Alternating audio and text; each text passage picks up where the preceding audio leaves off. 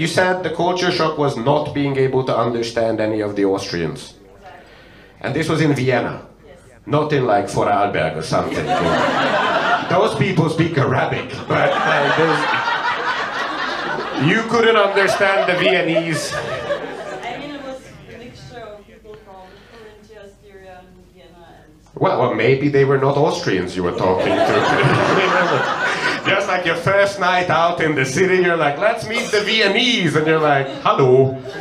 And he just said something in Mongolian, and you know, and you're like, wow, these Viennese are fucking off the heart.